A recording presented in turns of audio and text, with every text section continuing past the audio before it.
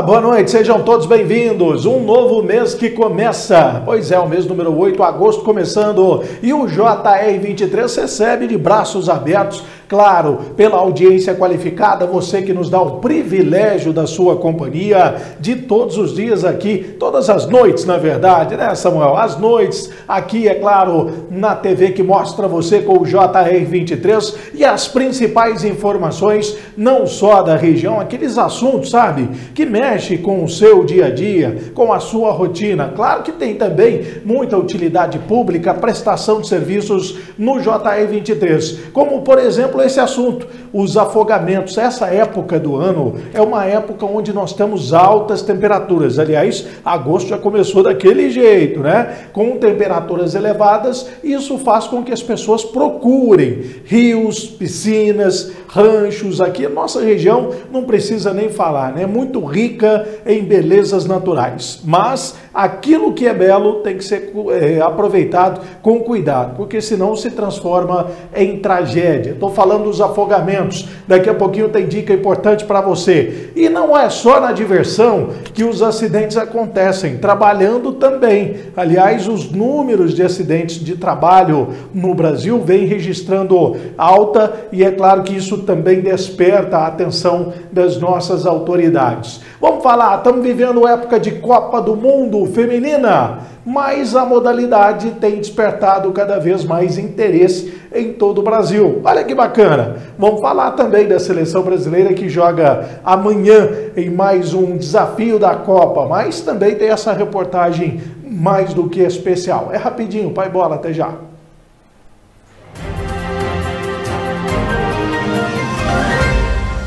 Quem vive em Franca sabe bem de onde vem o orgulho de estar aqui.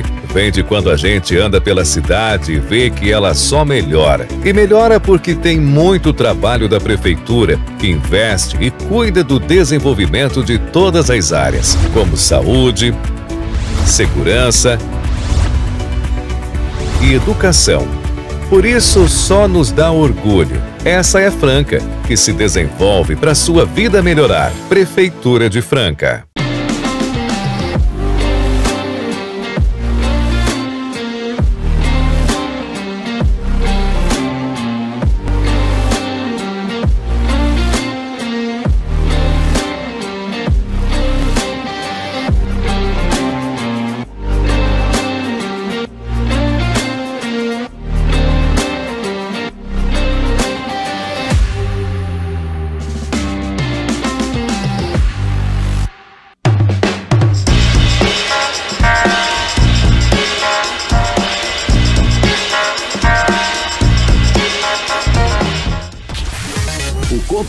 Mais completo de Franca e região.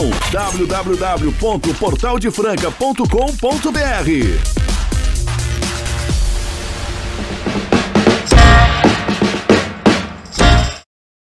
Sabia que existe uma alternativa para cuidar da sua vida financeira de um jeito diferente? No Sicredi, você tem uma conta completa, taxas mais justas e soluções financeiras ideais para suas necessidades. Saiba que aqui você participa da distribuição dos resultados e das decisões da sua cooperativa. Afinal, você é sócio, é dono dela. Aqui no Sicredi, o resultado fica na economia local, ajudando a desenvolver você e toda a sua região. Abra sua conta no Sicredi, onde o dinheiro rende um mundo melhor.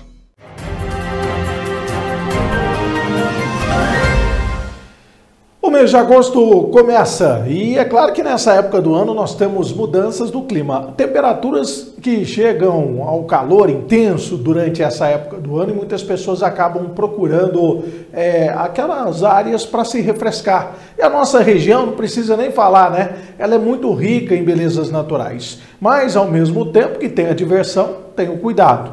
Tiago Rossioli fala sobre os números de afogamentos. Aliás, o estado de São Paulo aparece com um ranking nada agradável em relação às mortes por afogamentos, né, Tiago? Boa noite. Exatamente, Samuel. Boa noite para você e para todos que nos assistem. De acordo com dados do Corpo de Bombeiros, no ano passado foram registrados 3.100 afogamentos no estado, um aumento de quase 12% em relação a 2021, quando ocorreram 2.081 casos em todo o estado de São Paulo.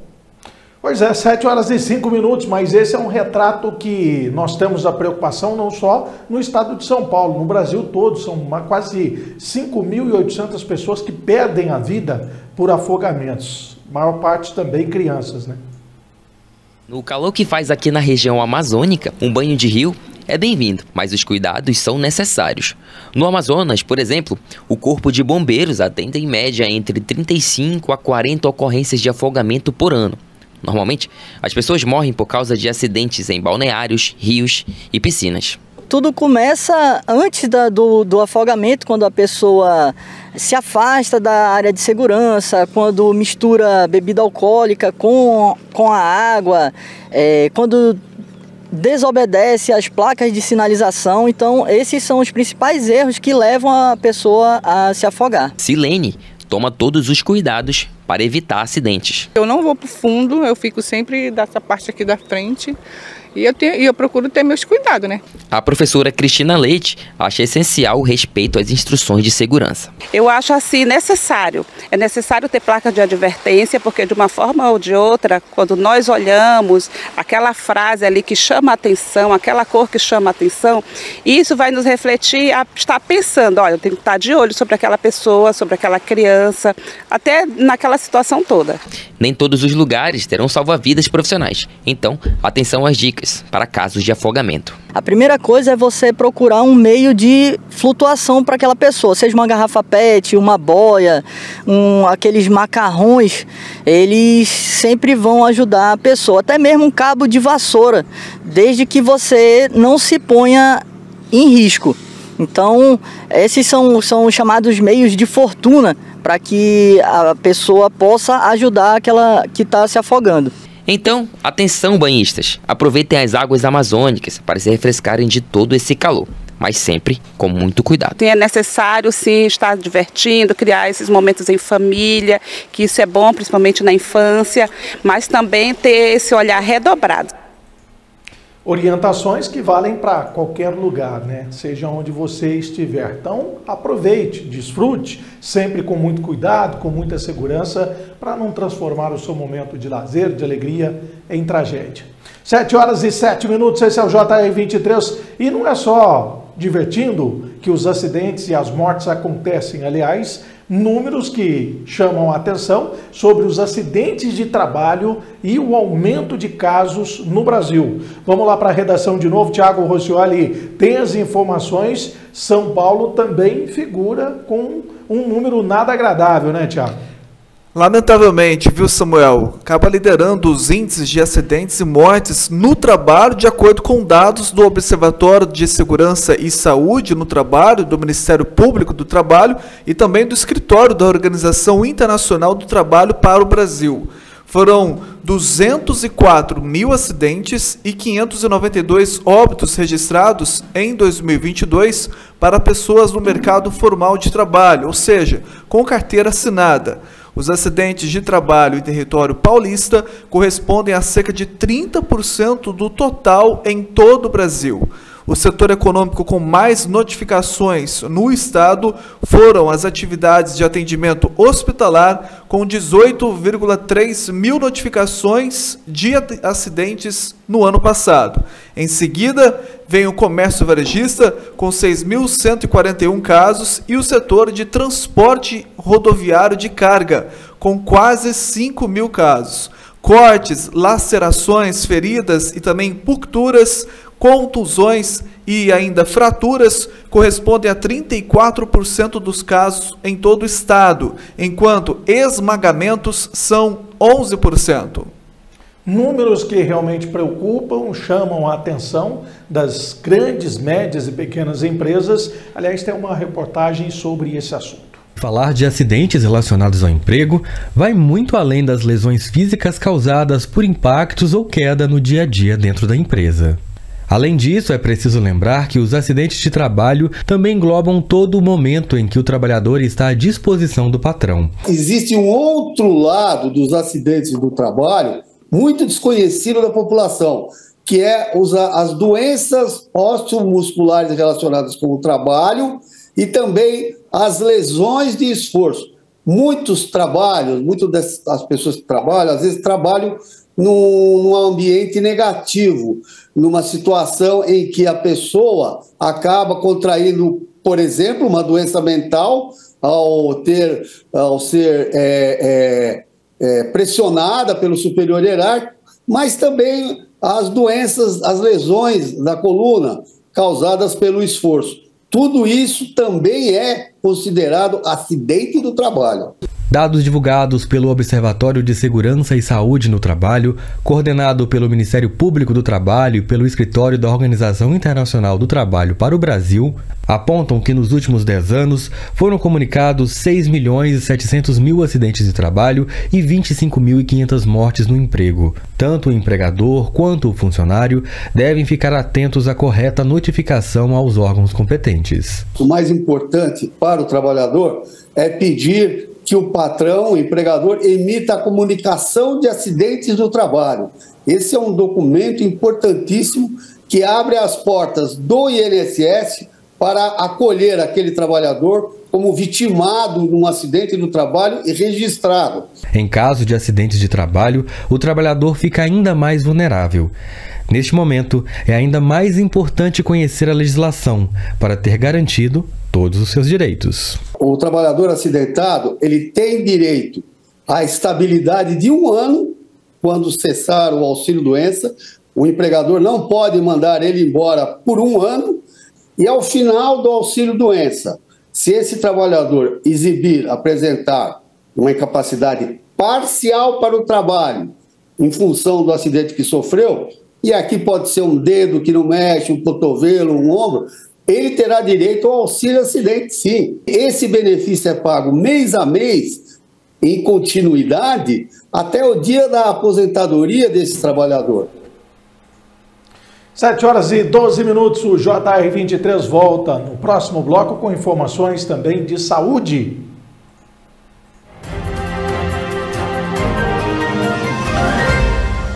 Quem vive em Franca sabe bem de onde vem o orgulho de estar aqui. Vem de quando a gente anda pela cidade e vê que ela só melhora. E melhora porque tem muito trabalho da prefeitura, que investe e cuida do desenvolvimento de todas as áreas, como saúde, segurança e educação.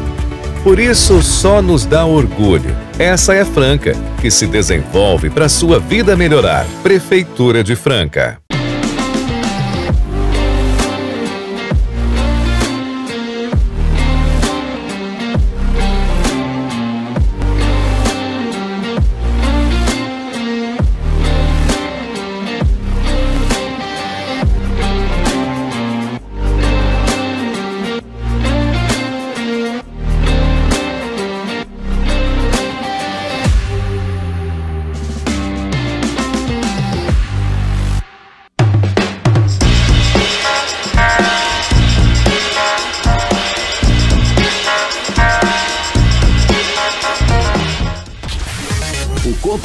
Mais completo de Franca e região. www.portaldefranca.com.br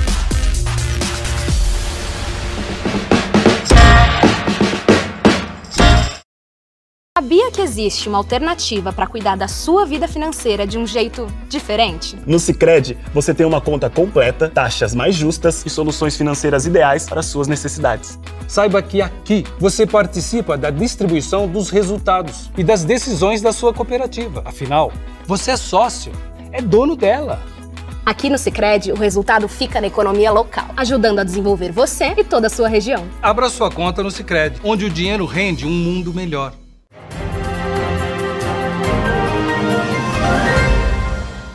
De volta aqui no JR23 para você que nos acompanha em toda a cidade, em toda a nossa região. Vamos falar sobre as questões de saúde. Muitos é, funcionários, é, quando perdem seus empregos, pode colocar as imagens na tela, já já tem a reportagem completa também para você que nos acompanha. Das pessoas, elas têm vinculado ao trabalho é, o plano de saúde. Então, quando a pessoa perde o, o, trabalho ou tem alguma mudança, ela acaba automaticamente perdendo também o plano de saúde. E isso tem gerado uma mudança no perfil de atendimento dos usuários dos planos de saúde, mais idosos e menos jovens. Danilo saiu da empresa em que trabalhava e perdeu o plano de saúde. Apesar de achar importante, não pensa em contratar individualmente o benefício. Hoje eu não tenho plano de saúde porque não é muito acessível, né? Quando a gente está no trabalho, a gente ainda consegue ter o plano de saúde, mas porém não consegue usar tanto como gostaria por causa do preço da coparticipação. Dados do relatório do IESS mostram que 18% dos jovens entre 20 e 29 anos, como Danilo, saíram do plano de saúde entre 2013 e 2022. Já o número de idosos de 60 anos ou mais que contrataram a assistência cresceu em 26,6% durante o mesmo período. Você está tendo menos jovens no mercado de trabalho e a maior parte dos planos são planos coletivos, contratados por empresas. No período da crise, a classe etária que ficou desempregada foi a classe dos jovens. A quantidade de idosos nos planos é a que cresceu continuamente, desde 2002, quando se tem registros. Reduziram o consumo, cortaram despesas, sacrificaram, quem sabe, até mesmo em refeições para poder manter o plano. Um alerta do Instituto é que os preços dos planos de saúde podem subir no futuro à medida que a população brasileira envelhece. Isso porque o custo aumenta não só com a necessidade de mais serviços médicos para as pessoas mais velhas, mas também por haver menos jovens pagantes de assistência à saúde, que amortecem parte dos valores dos idosos. A solução para evitar estes valores cada vez mais altos passa por cuidados com a saúde, como manter uma alimentação saudável e praticar atividades físicas. A gente pode evitar o adoecimento. Para isso tem que fazer muitas coisas. Você tem que adaptar as cidades para que as pessoas possam caminhar confortavelmente, possam pedalar para o serviço, que se diminua essa tendência a substituir feijão com arroz e colocar por embalados, por saquinhos, por chips que têm gorduras, etc. E no próximo bloco, as informações, as novidades que movimentam o futebol brasileiro, você fica sabendo e também, é claro, as novidades do futebol feminino.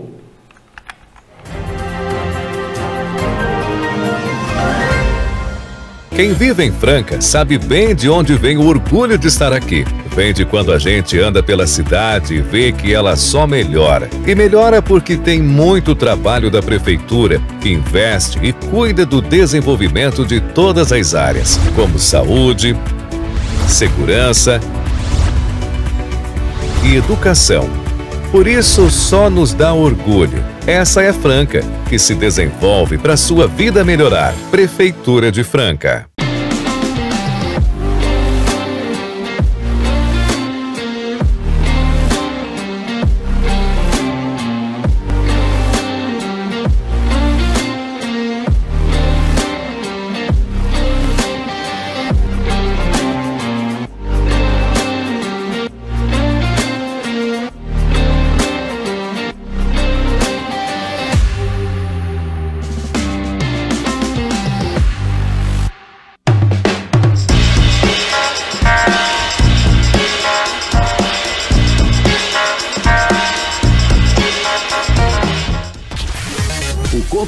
Mais completo de Franca e região. www.portaldefranca.com.br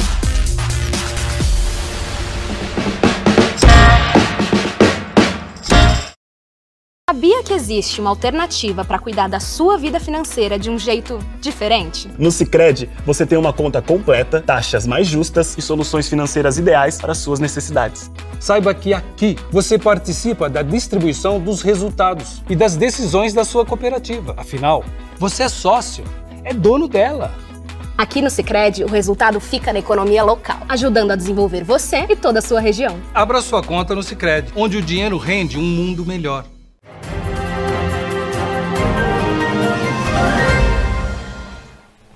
Vamos falar do mundo da bola no JR23 e as novidades que vem agitando nos últimos dias, os bastidores do futebol e, obviamente, que não poderíamos deixar de falar aqui no JR23. Principalmente São Paulo e Corinthians, né? Que é o que está pegando nos últimos dias. E o São Paulo já conta com um dos ídolos do futebol internacional. Olha a fera aí, Tiago, conta pra gente. Pois é, Samuel Ramos Rodrigues é do tricolor. O colombiano de 32 anos assinou uma, um contrato válido até 30 de junho de 2025. Destaque da Copa do Mundo no Brasil em 2014 e com passagens por clubes como Porto de Portugal, Real Madrid da Espanha e Bayern de Munique da Alemanha no currículo, o meio-campista chega ao São Paulo após atuar no futebol grego, onde inclusive ele defendeu o Olímpicos na última temporada.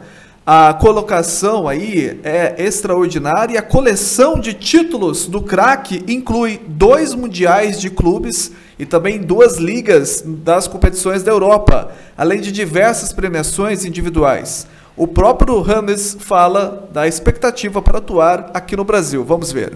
O futebol brasileiro cresceu muito nos últimos anos. Eu acho que é o futebol mais mais competitivo de Sul-América isso para mim é bom. Eu sou um cara que competitivo também, um cara que gosta de jogar grandes, eh, grandes jogos, eh, grandes cenários também. Então, para mim, a decisão foi essa, né? Poder competir contra grandes times e poder jogar eh, as Copas, a Taça Libertadores, eh, a Copa Sul-Americana. Tudo isso é bom para, para mim também. Torcedores do São Paulo vivem a expectativa agora da estreia do novo craque, né, que vem para reforçar a equipe do tricolor. Mas não é só o São Paulo que anuncia reforço. O Corinthians também já conta com um novo rosto integrando o elenco. Lucas Veríssimo foi apresentado jogando fora também, né, no futebol do exterior e agora está no timão. Ele me passou algumas coisas da equipe e, e também o que quer é de mim. E cara, é que nem eu falei, a gente vai, vai, vai, vai no dia a dia crescer juntos e em relação à seleção, pô, claro, mantenho esse sonho ainda, mas hoje meu principal objetivo é contribuir e ajudar o Corinthians. É, onde eu passei, teve cobranças, teve Teve, claro que teve, Benfica, se, você, se o senhor vê também, lá é uma equipe também que na onde tem uma, uma massa muito grande, uma torcida muito grande. É, cara, eu acho que isso existe dentro do futebol, tem que existir. É, eles querem resultados e é isso que a gente vai correr para poder, poder mostrar. Lucas Veríssimo, novo reforço do Corinthians. Aliás, o técnico Vanderlei Luxemburgo não quis adiantar em relação à data de estreia do atleta com a camisa do Timão. Mas o Corinthians, o falando em Timão, joga daqui a pouquinho na Neoquímica Arena, recebendo o News Old Boys pela Copa Sul-Americana. Pois é, jogo difícil, mas o técnico Vanderlei também está se sentindo meio incomodado quando questionado se vai colocar mais jogadores experientes ou os mais jovens. Ou se vai fazer ali aquele bem bolado, né, professor? Todos à disposição. Assim, disposição. Eu posso jogar na, na terça-feira, de repente, com um time que não jogou a Sul-Americana. Ou posso repetir, ou posso fazer uma mescla. Então tem tudo assim para poder fazer. Curto e grosso, né? Esse é o Vanderlei Luxemburgo, 7 horas e 23 minutos. Então, daqui a pouquinho, 9 e meia da noite, tem o Corinthians pela Sul-Americana. Vamos falar agora também sobre futebol feminino. Aliás, a modalidade tem despertado cada vez mais o interesse de meninas e de mulheres. E essa alta vem acontecendo em todo o Brasil. Dá só uma olhada nessa reportagem especial. E a modalidade é futebol, só entre meninas. Nesta escola pública do Rio de Janeiro, garotas de 11 a 15 anos disputam lugar no time. A Júlia foi artilheira no campeonato escolar, marcou 10 gols. Lá perto de casa tem um campo, eu jogo com meus amigos e vou fazendo gol. Das convocadas, quem que você admira mais? A Marta. Quando eu vejo ela, ela ela dibra todo mundo, passa para a pessoa fazer o gol e a pessoa faz o gol. Meu sonho maior é fazer futebol. Aqui, prática transcende o ambiente escolar. Muitas delas querem ser jogadoras profissionais. A Julie joga no Sub-13 do Fluminense. minha mãe super apoia, porque até então meu irmão também já é goleiro. E aí eu fico tocando bola com ele direto em casa. Ela compra chuteira para mim de boa, compra tudo. Com o apoio, cada vez mais meninas vão a campo. Não eram bem aceitas nas peladas ali, né? Seja na comunidade, seja na quadrinha da esquina. E aí quando elas encontram um grupo com proximidades, né? É, que criam conexões, criam laços afetivos, elas se empoderam, elas aumentam né, a sua capacidade de estar em conjunto. E quando o município promove competições de futebol feminino, elas se conectam. Né? E essa conexão ela vai sendo difundida para as próximas gerações. Eu acho que é um efeito cascata. De esporte proibido a modalidade incentivada nas escolas. É assim que o futebol feminino encontra espaço para evoluir. A ideia aqui é construir um terreno bem sólido para que o futebol feminino seja acessível para todas as garotas. Acho que um, um fato super importante que faz parte também da política da CBF foi a autorização para ter jogos mistos. Isso é uma nova bandeira da, da gestão Edinaldo. Temos que continuar assim com o fomento do futebol na, na, nas escolas, com essas mini eh, ligas para as crianças, etc., irrigando também a base dos clubes com competições. O futuro é promissor e enquanto as jogadoras da seleção brasileira representam o sonho das crianças, professoras e demais profissionais da educação do Rio inspiram as alunas, gerações que fortalecem o futebol feminino no Brasil. Nesse grupo são 35 mulheres da Secretaria de Educação da cidade do Rio de Janeiro que treinam aos domingos unidas para praticar esporte e engajar. Eu sou apaixonada pelos esportes e acho que como educadora nós temos essa responsabilidade de integrar todos os valores do esporte com a educação. Segundo que a gente tem que dar, nós temos a responsabilidade também de dar visibilidade a mais essa potência da mulher, que é atividade física para a saúde, para qualquer esporte que ela quiser, porque ela tem que estar onde ela quiser disseminar o futebol feminino nos ambientes públicos e melhorar a estrutura do esporte no Brasil faz parte da Estratégia Nacional para o Futebol Feminino que o Ministério do Esporte lançou em março deste ano.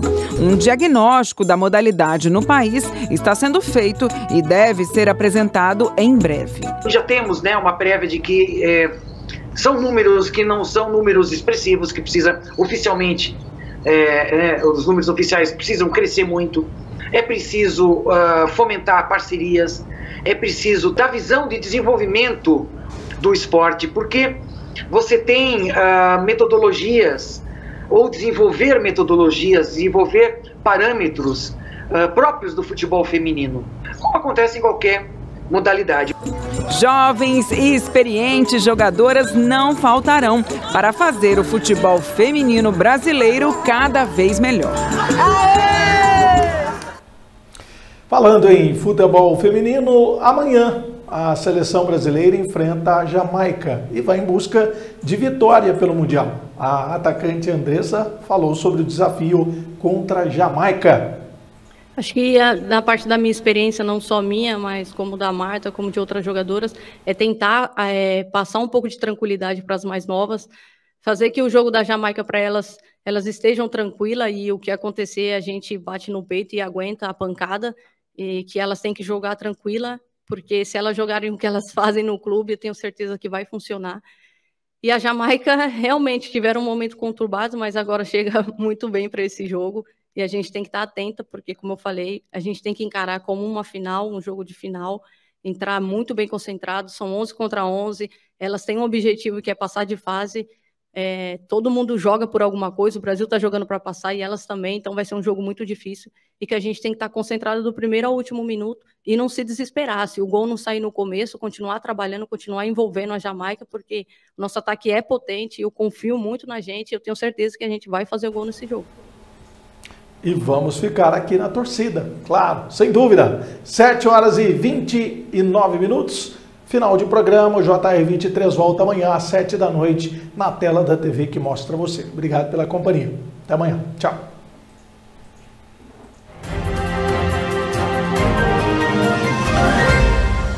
Quem vive em Franca sabe bem de onde vem o orgulho de estar aqui. Vem de quando a gente anda pela cidade e vê que ela só melhora. E melhora porque tem muito trabalho da prefeitura, que investe e cuida do desenvolvimento de todas as áreas, como saúde, segurança e educação. Por isso, só nos dá orgulho. Essa é Franca, que se desenvolve para sua vida melhorar. Prefeitura de Franca.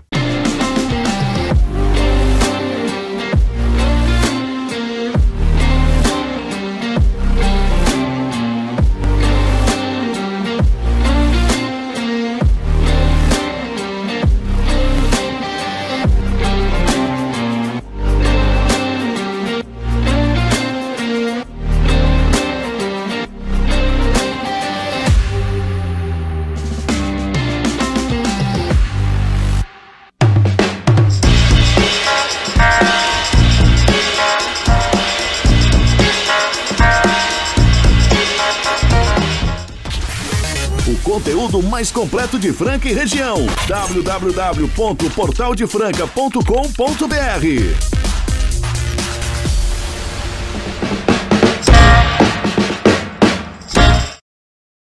que existe uma alternativa para cuidar da sua vida financeira de um jeito diferente? No Sicredi, você tem uma conta completa, taxas mais justas e soluções financeiras ideais para suas necessidades. Saiba que aqui você participa da distribuição dos resultados e das decisões da sua cooperativa. Afinal, você é sócio, é dono dela.